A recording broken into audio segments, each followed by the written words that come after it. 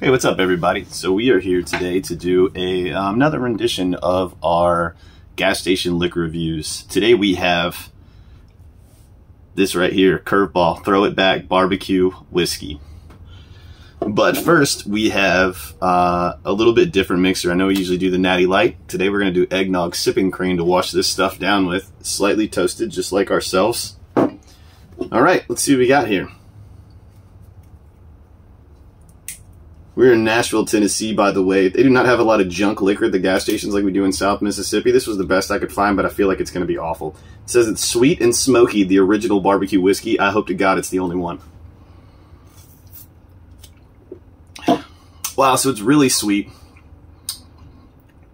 I was not expecting that. And honestly, as a person from the South, I am personally offended that they would dare to call this whiskey or barbecue. Because it does neither one very well at all.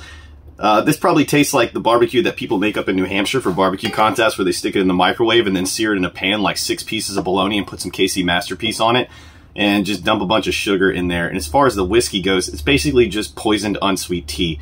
Um, absolutely terrible.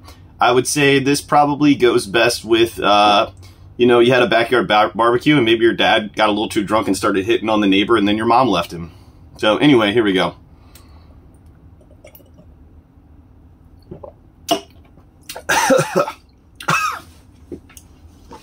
cool.